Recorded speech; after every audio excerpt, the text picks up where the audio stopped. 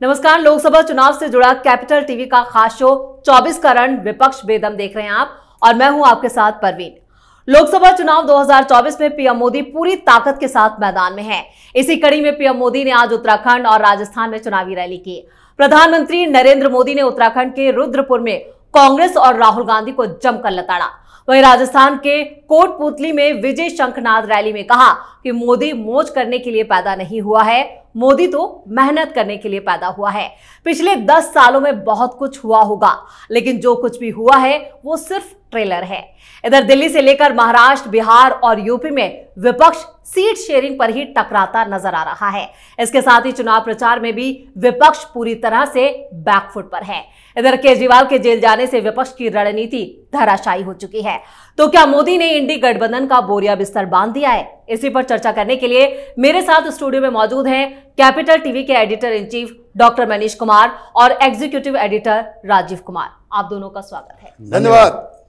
Doctor साहब मोदी जी की जो हुंकार है वो बहुत भारी पड़ रही है विपक्ष पर। देखिए, प्रधानमंत्री मोदी ने आज दो मैसेज दिए पहला, कि मैं मौज मस्ती करने वाला लीडर नहीं हूँ। कहने का मतलब ये कि उन्होंने राहुल गांधी को लपेट लिया। कहा कि राहुल गांधी से कुछ नहीं वो ये मौज मस्ती करने वाले लोग हैं, इनसे देश संभाला नहीं जाएगा। तो एक अटैक जो है विपक्ष के ऊपर, मौज मस्ती और पता नहीं क्या क्या कर दिया। लेकिन दूसरा मैसेज, जो ज़्यादा इंपॉर्टेंट है कि अब तक जो हमने काम किया है, वो ट्रेलर है। लेकिन जो उन्होंने काम किया, वो तो देश जान ही रही है। आज उन्होंने उत्तराखंड में एक अजीबो गरीब प्रपोजल जनता के सामने रखा और ये बताया कि एक घटिया लीडर और एक देश को आगे ले जाने वाले लीडर में क्या फ़र्क होता है? एक ही बात जो बाकी लोग कह रहे हैं, प्रधानमंत्री मोदी ने भी वही बात कही कि बिजली फ्री कर दूँगा। बिजली का बिल ज़ीरो होगा। बाकी लोग भी कह रहे हैं, लेकिन वो कह रहे हैं, बिजली फ्री कर दूँगा। लेकिन प्रधानमंत्री मोदी ने क्या कहा? कि बिजली फ्री ही नहीं करूँगा, बल्कि आपको पैसे भी दूँगा। लेकिन शर्त है, शर्त क्या है कि जो सौर ऊर्जा से जो बिजली बनाने का जो पूरा प्लान प्रधानमंत्री मोदी ने तैयार किया है, कि गरीब अपने छतों के ऊपर अपने घरों के ऊपर, अपने खेतों में, क्योंकि वो राजस्थान हो या फिर उत्तराखंड हो, लोगों के पास ज़मीन है, खाली जगह है और वहाँ पे धूप भी है तो वो ये कह रहे हैं कि फ्री तो होगा, लेकिन एक योजना, एक पद्धति के मुताबिक होगा। आपको इसमें देश के लिए भी कुछ करना होगा। आप सोलर पावर का जो सिस्टम है, जो सरकार बहुत ही कम दर पे दे रही है, उसको आप लगाएँ जितना इस्तेमाल करना है वो इस्तेमाल करें, वो तो ज़ीरो हो ही गया। और अगर ज़्यादा प्रोड्यूस कर रहे हैं तो आप सरकार को बेच दे, पैसे भी कमाएँगे।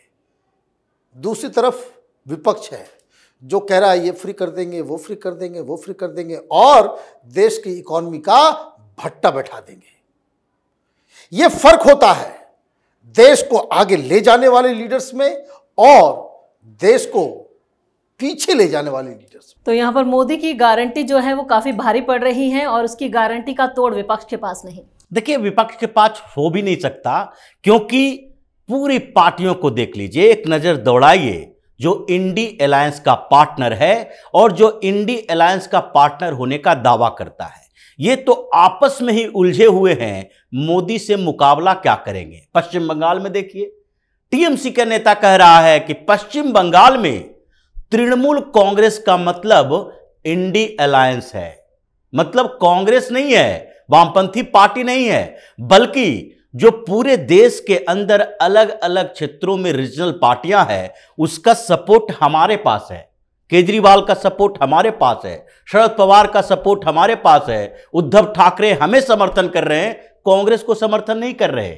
ये कांग्रेस तो बेवजह के इसमें हस्तक्षेप करने में लगी हुई है। मतलब आपस में अब झगड़ा इस बात का है कि आई एन डी आई ए का पार्ट कौन है और कौन नहीं है। और नहीं भी है, वो भी ये कह रहा है कि अभी चुनाव से पहले ये डिसाइड मत करो कि ये गठबंधन का हिस्सा हम है कि नहीं। ये चुनाव के बाद डिसाइड करेंगे। दूसरी तरफ़ अगर देखा जाए तो पीएम मोदी का चुनौती, उनके लिए चुनौती बनने के लिए आपके पास एक बेहतर विकल्प होना चाहिए। लीडरशिप तो है नहीं। हर रीजनल पार्टी के अपने नेता जो हैं, उसको अपने क्षेत्र के अलावा बाहर कोई पहचानता तक नहीं है ठीक से। उद्धव ठाकरे बिहार में जाकर क्या करेंगे? शरद पवार बिहार में जाकर क्या करेंगे? ममता बनर्जी अगर बंगाल से बाहर निकले तो वहाँ पर उनकी सभा में भीड़ जुटाने के लिए पैसे खर्च करने पड़ेंगे। कोई भी एक नेशनल लीडर है ही नहीं। स्टार प्रचारकों की सूची कांग्रेस उत्तर प्रदेश के लिए जारी करती है। 40 स्टार प्रचारक हैं, जिसमें से कांग्रेस को उत्तर प्रदेश के पाँच बड़े नेता नहीं मिलते। मजबूरी में वो कर्नाटक के सीएम, तेलंगाना के सीएम, हिमाचल प्रदेश के सीएम, राहुल, प्रियंका, सोनिया मल्लिकार्जुन खड़गे, ये सारे के सारे जो नेता हैं, जिसको उत्तर प्रदेश में सही तरीके से, गांधी परिवार के लोगों को छोड़ दो तो पहचानता नहीं है, और वो स्टार प्रचारक बने हैं उत्तर प्रदेश के लिए। तो पीएम मोदी के सामने चुनौती बनना इतना आसान नहीं है, ये आपस में लड़ेंगे, भिड़ेंगे, और पीएम मोदी के लिए एक बेहतर रास्ता तैयार करके जाएँगे। डॉक्टर साहब पीएम मोदी का विकल्प जो है वो विपक्ष के पास नहीं है क्योंकि वो जिस तरह की करिश्माई व्यक्तित्व उनका है तो उन्होंने पहले ही चुनावों या चुनाव प्रचार के दौरान ही बढ़त बना ली है। देखिए बढ़त बनने के कारण और भी है। जी। राजीव जो बात कह रहे हैं उसको मैं थोड़ा सा और आगे बढ़ाता हूँ। ममता बनर्जी अखिलेश यादव तेजस्वी यादव अरविंद केजरीवाल उद्धव ठाकरे या डीएमके ये तमाम लोग जो तथाकथित इंडी गठबंधन में हैं, जो उनकी तैयारी दिख रही है, जिस तरीके से लैक लस्टर अप्रोच के साथ वो लोकसभा का चुनाव, वो हेड ऑन ले रहे हैं, उससे दो संकेत। पहला ये कि ये लोग अपने रिसोर्सेस को बचा रहे हैं। अभी देखिए दूसरे फ़ेज़ का नॉमिनेशन शुरू हो गया। कहीं आपने कांग्रेस पार्टी का प्रचार देखा? कोई ऑडियो, वीडियो, सोशल मीडिया पे कोई कैंपेन लॉन्च हुआ इंडिया का? नहीं हुआ। आपने अखिलेश यादव का देखा? तेजस्वी यादव का देखा? ममता का देखा? नहीं। क्यों? They all know deep down कि मोदी को हराना नामुमकिन है। तो क्या करेंगे? ये रीजनल पार्टीज़ इस चुनाव को अपने जो असेंबली के जो इलेक्शंस होंगे, उसकी तैयारी के नज़रिए से वो इस चुनाव में जा रहे हैं कि कुछ ऐसा करते हैं कि जो हमें फ़ायदा देगा असेंबली इलेक्शन में। तेजस्वी यादव को बनना है मुख्यमंत्री। प्रधानमंत्री कौन बन रहा है उसके एजेंडे में नहीं है। अखिलेश यादव यूपी में वापस आना चाह रहे हैं। प्रधानमंत्री और देश में किसकी सरकार बनेगी? नॉट इन देयर एजेंडा ये सारे लोग तो ऐसे में क्या होगा? जब आपको मालूम है कि हम चुनाव नहीं जीतेंगे, हम मोदी से टक्कर नहीं ले सकते हैं तो पहला काम आप क्या करेंगे कि जो कुछ भी रिसोर्सेज है, वो रिसोर्सेज को आप बचा के रखेंगे ताकि आप अपना जो ओरिजिनल आपका जो बैटल होगा, जब असेंबली इलेक्शन होगा तो उस रिसोर्सेज को हम उसमें इस्तेमाल करेंगे। और इसीलिए कई सारे पार्टियों से यह खबर आ रही है कि जो पॉलिटिकल पार्टीज़ है, वो टिकट्स को बेच रहे हैं। क्यों बेच रहे हैं? ऐसा नहीं कि पैसे की कमी है, कोई पॉकेट भरने के लिए। ये तैयारी है असेंबली इलेक्शंस के। तो इसका मतलब तो बिल्कुल ही साफ़ है कि कांग्रेस जो है, लोगों ने कांग्रेस को आगे बढ़ा दिया। जैसे अंग्रेज़ जमाने का जेलर आधा इधर, आधा उधर, बाकी सब मेरे साथ। तो राहुल गांधी के पीछे कोई नहीं है।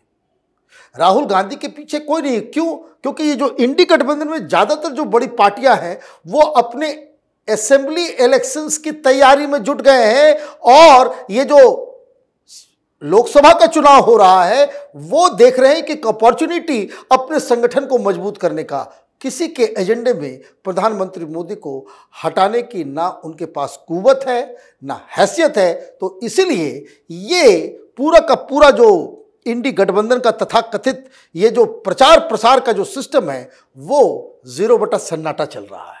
तो यहाँ पर मोदी के मुकाबले कोई नहीं और कांग्रेस जो है अभी तक चुनाव प्रचार के मैदान में पूरी तरह से नदारत नज़र आ रही है। इसके पीछे की वजह क्या? देखिए कांग्रेस चुनाव प्रचार करे कहा? सबसे बड़ी समस्या उसके साथ ये है जिसके नेता और जो सबसे बड़े नेता हैं अब तक इस बात को लेकर कंफ्यूज हैं कि रायबरेली और अमेठी से चुनाव कौन लड़ेगा? अगर आप रिपोर्ट्स देखिए, मीडिया में इस बात की चर्चा है। भारतीय जनता पार्टी सिर्फ़ सवाल नहीं उठा रही है। इस बात की चर्चा कांग्रेस के अंदर भी है। कांग्रेस के नेता मांग कर रहे हैं और ये तर्क क्या देते हैं? कि रायबरेली अमेठी में तो पाँचवें चरण का चुनाव है, इसलिए अभी देरी हो रही है। तो बनारस में तो छठे चरण का चुनाव है। वहाँ कैसे आपने प्रत्याशी घोषित कर दिया? यह सवाल गांधी नेहरू परिवार के ऊपर है कि उत्तर प्रदेश जैसे राज्य में भले ही आप सत्रह सीटों पर चुनाव लड़ रहे हो, लेकिन यहाँ से एक अवधारणा क्रिएट होता है चुनाव के नतीजों के लिए, और वहाँ पर जो आपकी विरासत में मिली हुई सीटें हैं, वहाँ भी आप कंफर्म नहीं हो पा रहे प्रियंका वाड्रा लड़ेगी या राहुल गांधी लड़ेंगे। ये दोनों दोनों ही सीट छोड़कर भाग रहे हैं और दूसरी तरफ़ वायनाड से नॉमिनेशन की तैयारी कर रहे हैं।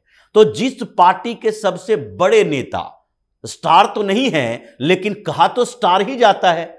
और वो नेता जब अपने चुनाव क्षेत्र को लेकर इतना कंफ्यूज हैं तो ये दूसरे जगह प्रचार करने जाते हैं स्टेज पर बैठे कांग्रेस के दूसरे नेता मुस्कुराते हैं इनको देखकर कि देखो ये अपना लोकसभा क्षेत्र सुरक्षित नहीं कर पा रहा है, हमारे लिए वोट क्या जुटाएगा? जो कांग्रेस के अंदर कंफ्यूजन है लीडरशिप को लेकर, इन नेताओं के अपने रवैये को लेकर इंटरनल फाइट ऐसा चल रहा है कि ये प्रचार लॉन्च क्या करेंगे? प्रचार करने से पहले ही सरेंडर करने की स्थिति में पहुँच चुके हैं। तो यहाँ पर आप दोनों का सटीक विश्लेषण जो किया है उसके लिए बहुत बहुत धन्यवाद। धन्यवाद। और इधर मोदी के आगे विपक्ष जो है वो पूरी तरह से ढेर नज़र आ रहा है। चुनाव प्रचार मैदान में नहीं है। 2024 की चुनावी जंग में हर मोर्चे पर पीएम मोदी बाजी मारते नज़र आ रहे हैं। वही विपक्ष आपसी खींचतान आपसी झगड़े और नेताओं के बागी तेवरों से नहीं उभर पा रहा है। यानी इंडी गठबंधन अभी तक चुनावी मूड में नहीं आ पाया है, जबकि बीजेपी हर मोर्चे पर पूरी ताकत के साथ झंडे गाड़ती दिख रही है और इंडी गठबंधन पूरी तरह से बेदम नज़र आ रहा है। वीडियो कैसा लगा, आप अपनी राय कमेंट करके लिखें और वीडियो को लाइक करें, शेयर करें और कैपिटल टीवी को सब्सक्राइब ज़रूर करें। नमस्कार।